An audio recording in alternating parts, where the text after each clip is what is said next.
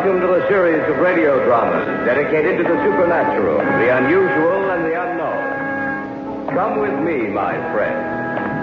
We shall descend to the world of the unknown and forbidden, down to the depths where the veil of time is lifted and the supernatural reigns as king.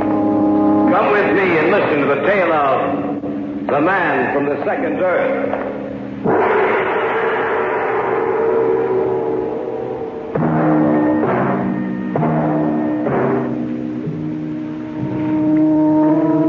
When we gaze out at the limitless reaches of space that we get any true perspective of man's place in the universe.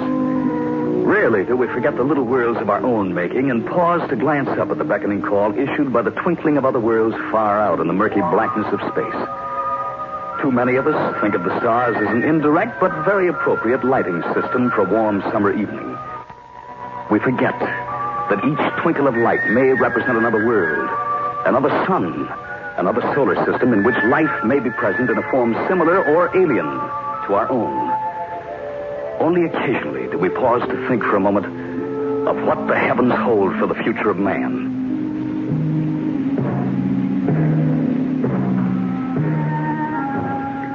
Carl Rasmussen was an associate of mine at the Research Institute. Though engaged in different fields of research, a strong friendship developed between us. Besides his work at the Institute, Carl was engaged on a project of his own the study of the strange radio waves which emanated from various parts of the Milky Way. I didn't realize how far he'd progressed in his hobby until that day in the cafeteria. And that's the extent of the progress we've made so far in our department. I think you're doing pretty well. I guess so. Bruce, you know about my work at home. Yes, of course. Why don't you come over tonight? What's happened? You know, I've been trying to trace down the point at which those radio waves originate. Yes. Well, I've done it. Do you know what causes them? Yes, I do. What? An intelligent thinking being. Are you sure? I'm positive. And I've been able to decipher the message he's sending. Have you told anyone else about this? Not yet. I want to be absolutely sure beyond a doubt. That's why I want you to come over this evening. It's just that I wonder whether Sharon will enjoy having me over again. Oh, she knows all about it. I want you there, Bruce. I want you to be the first to know what I've discovered.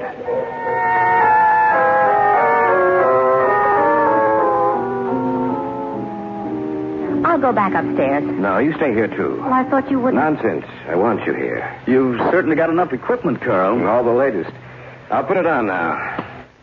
It'll take a few seconds for it to warm up. What time is it? 8.30. Oh, we're right on time. I always begin receiving a signal at that time. A little more.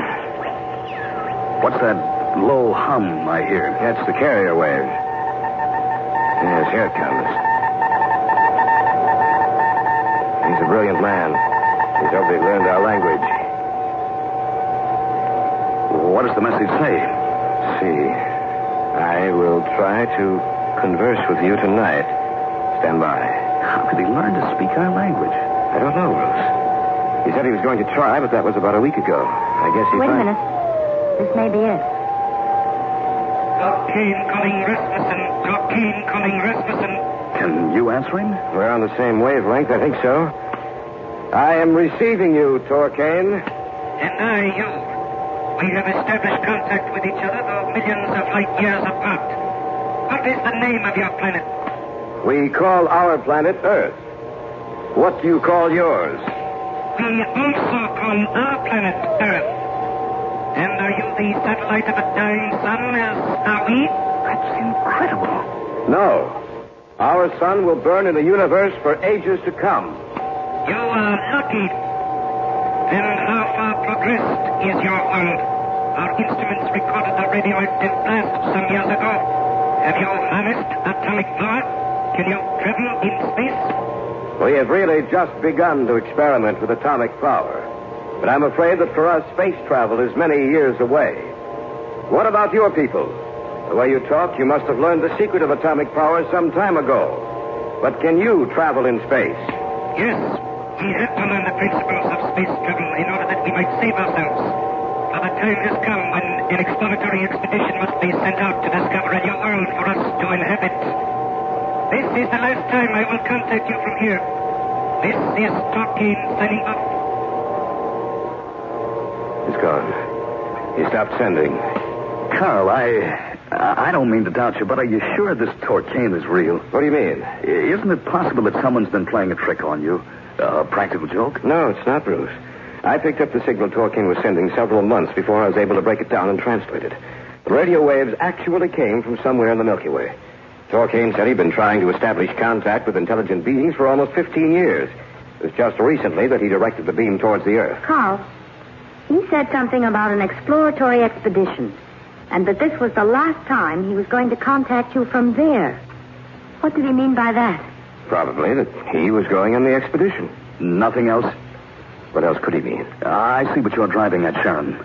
Torcane said he inhabited a planet in a dying solar system. It seemed to me that he was quite anxious to learn of what progress we've made in the atomic field and space travel. Why would he want to know if we've mastered it? Probably because he was curious. I should think he'd be more curious as to what kind of life exists here, any number of things, before he'd even think of space travel. That's right. And he also said that their instruments had recorded a radioactive blast some years ago. Seems to me they've been studying the Earth for a long time. And why should they study our planet so closely unless the exploratory expedition intends to come here to get a first-hand view of the Earth? You mean you think he intends coming to the Earth? Yes. Well, then, think of what that'll mean to us, Bruce. Obviously, they're centuries ahead of us in technological progress. Think what they can teach us. But what if they don't want to teach us, Carl? What if they want to conquer us, to destroy us? Well, why should they want to do that? Because their sun is dying. They must find a new planet to inhabit or die with it. I think Bruce is right. I don't think so. I think he's like most of us, afraid of anything new. If Torquane does come here, I'm sure it'll be in peace.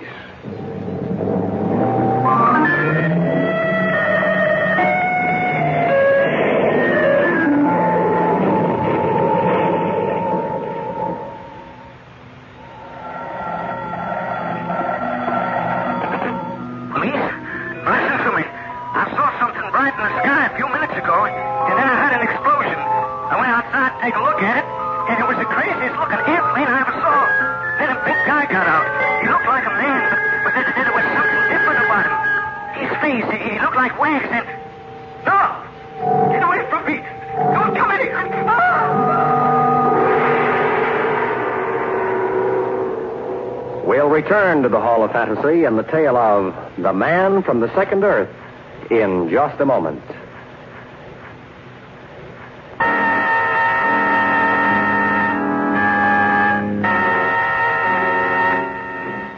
Back now to the Hall of Fantasy and the tale of The Man from the Second Earth.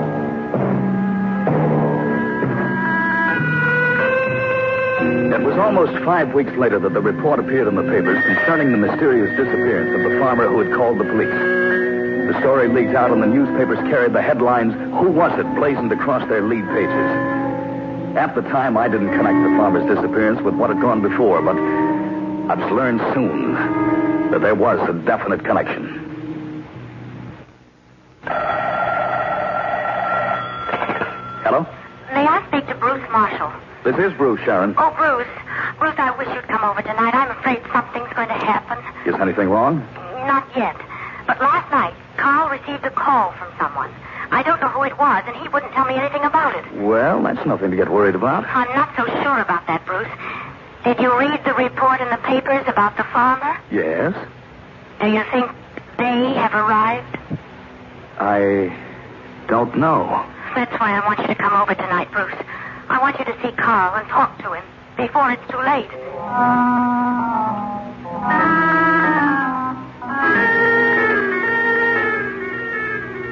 Carl, who called last night? Was it Torcane?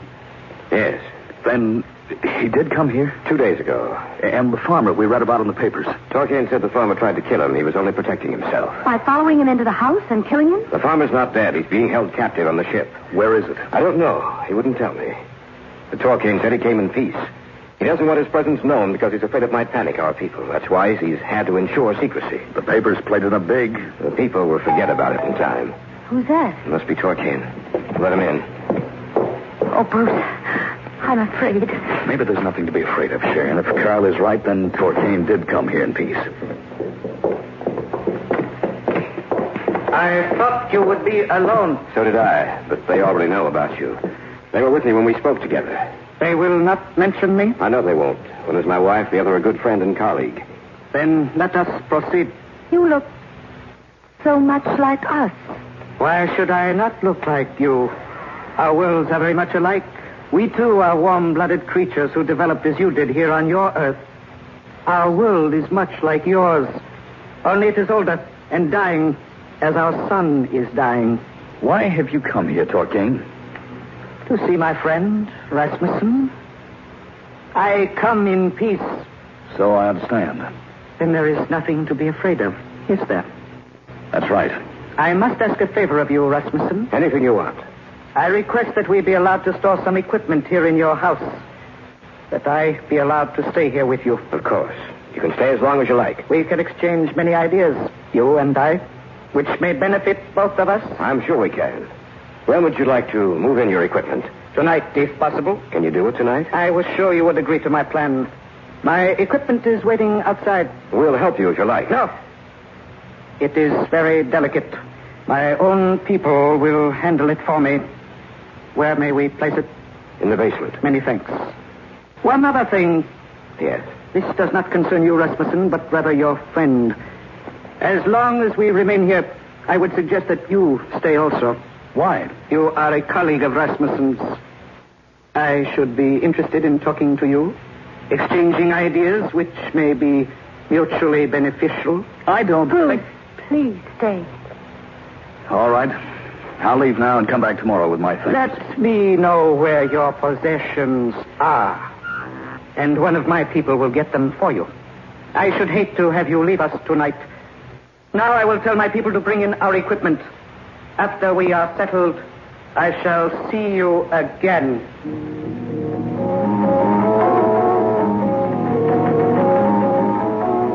Bruce, what time is it? Almost 11.30. Oh, Carl is still down there with them. I wish he'd come back upstairs. He hasn't been gone long. He'll be back up in a minute. Bruce, did you notice Torquain's face? Waxy and shining.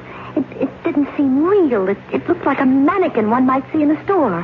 And, Bruce, maybe I imagined it, but I thought it changed while he was in here, that it took on new lines, new features while he was talking to us. Yes. I thought my eyes were going back on me, but his face did seem to change. I'd almost swear that it did. Someone's coming. Oh. Oh, it's you, Carl. Yes, it's I. Anything wrong, Carl? I don't know, Rose. Remember when Torquain first walked in here? He seemed so tall and thin. Downstairs, his shape seemed to be changing. It lost form, seemed to become fluid, and then would harden back into shape when he looked at me. Then we were right. Carl, I think Torquain assumed the form of a man when he came here tonight. I don't think his body is solid. I think his true form is a semi-liquid state which he can harden and assume any figure he likes. I think he's made up of a mass of living matter. Ah! What's that? Someone screamed. The farmer. He was down there. We'd better see what happened. Right, you stay here, Sharon. Be careful. Did to him when you were down there? The farmer? Yes. Was he all right? Yes, but he seemed a little dazed. Torquain? All the lights are out down there. The only light is streaming through this doorway. Down... Look. Yes, I see him. Do not come down here. We heard a scream. I'll take a look at the farmer. You keep Torquain talking. Right. Why is it so dark down here? We are resting. Why did he scream? He was frightened. Why don't you let him come upstairs with us? He will remain with us. There's nothing wrong with him, is there? Nothing. He, he's all right. Let's go. I've seen enough. We'll go back upstairs then. Do not come down here again unless we call you. Bruce, was he all right? All right, nothing. He was dead. What? That's right. There was some kind of wet, oozing substance all over him that seemed to be alive. I heard something down there, Bruce. Like the bubbling of water. And yet not like it. No, it was too thick to be water. Carl, I think there's something down there that could very well destroy us all. This thing you spoke to from the other planet Earth isn't a man at all, but an oozing, undulating, living mass of matter bent on our destruction. You are listening to The Man from the Second Earth on this week's journey down the corridors of the Hall of Fantasy.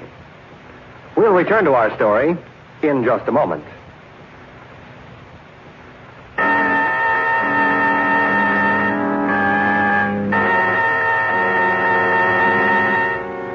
And now, back to our story. An original tale of fantasy featuring Jim Ameche, entitled The Man from the Second Earth.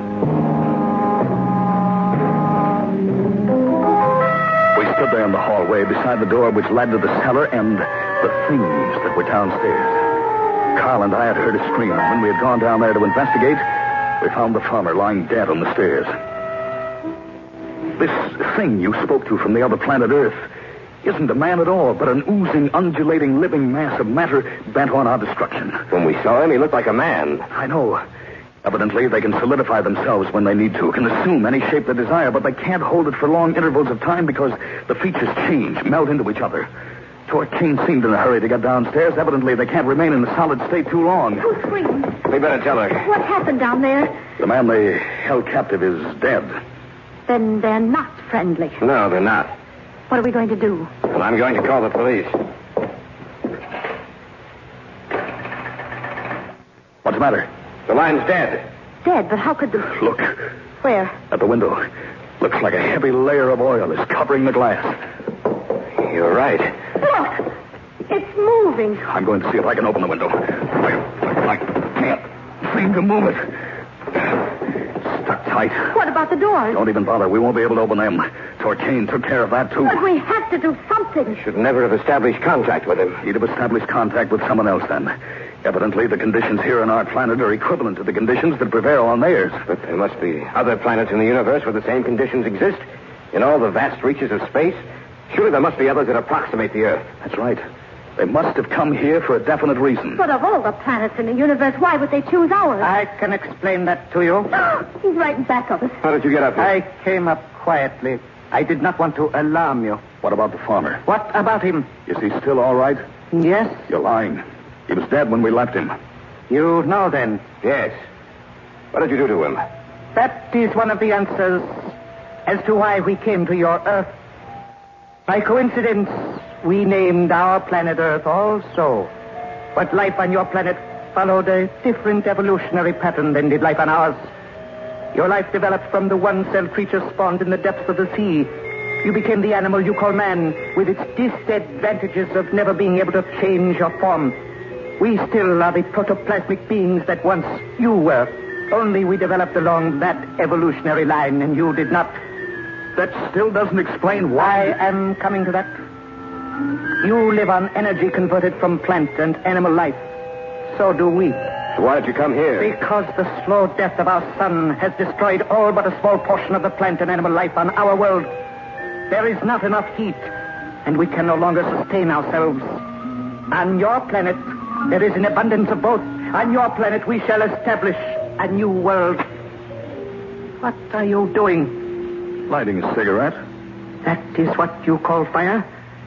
Let me see it. The matches? Why? I want to see them. Here. I thank you. On our world, we never had a use for these. It is like a tiny sun. How brightly it glows, and how... It is too warm. You shouldn't have held it so long, Torquine. I do not like this thing you call fire. Look, Carl. His hand. It's melting. You have not much longer to live. Enjoy your last minute. What does he mean? He means they intend to kill us soon. We've got to get away from here. How? What can we do? There must be some way to destroy them. How can you destroy a living mass of matter? Let's try to figure it out logically. They left their own planet because their sun was dying and unable to support adequate life. They feared the cold, for they'd freeze into a solid and be unable to move. But it's the middle of summer, and we don't have any refrigeration equipment downstairs. I know, but what's the opposite of freezing? Heat, boiling, burning. That's right. Did you notice what happened to his hand when he was holding that match? Yes, it began to melt. That's right. And he seemed afraid of it. I think there are only two ways to destroy these beings either to freeze them or to burn them. We can't freeze them. But we can burn them. How? This house will burn. But we can't get out. We'll burn with it. Maybe not. The window wouldn't move, but it might break. We can get out that way. But what if it won't break? That's the chance we'll have to take. Let's start ripping the curtains and drapes down, Bruce. They'll burn the easiest. Right. Let's go. I'll go open the gas burners in the kitchen. Good girl. That'll help it along. I'll be right back. Pile them up over here alongside the wall. All right. I just hope the rest of the house catches. So do I. If it catches and the gas gets dense enough, it should explode. There's some more over here. Sharon! I'm coming. Hurry. Hush, got everything open in there. The oven, the burners, everything. I can smell it from here. Well, that's the last of the curtains. Uh, look, seeping under the doorway. They must have smelled the gas. Oh, light the fire. Hurry. It's seeping through faster. It's swelling up on all sides of the door. They'll break through the door in a minute. It won't hold much longer. Fire's catching hold. We've got to get out of here. Let's go. Use that chair in the window. I will. Hurry. Let's hope it breaks. Here we go. It worked. Climb through in a hurry. All right, here. It'll help. There now. Run as fast as you can. The fire seems to be dying down. They're trying to smother it. If only that.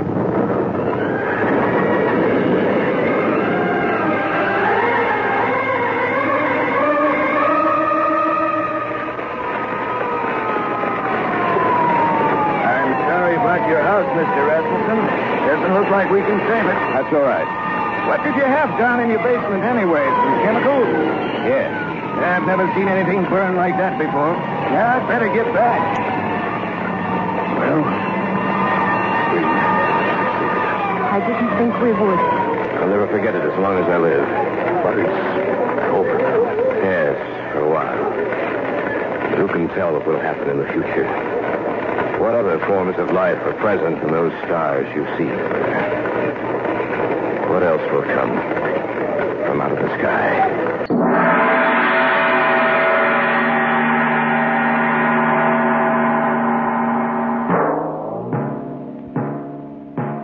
So runs tonight's tale of the unusual, the terrifying, the unknown. Join us again when next we journey down the corridors of the Hall of Fantasy to hear another strange tale of the supernatural. All characters and events portrayed in these programs are fictional, and any similarity to actual events or persons, living or dead, is purely coincidental.